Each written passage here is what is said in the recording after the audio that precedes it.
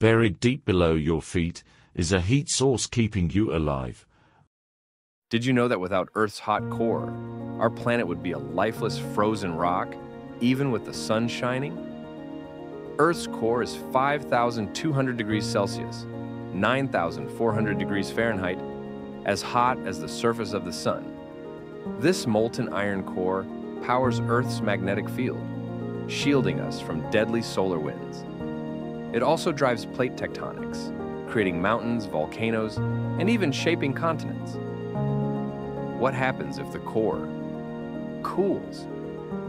No more magnetic field. Solar radiation strips away the atmosphere. No more volcanic activity.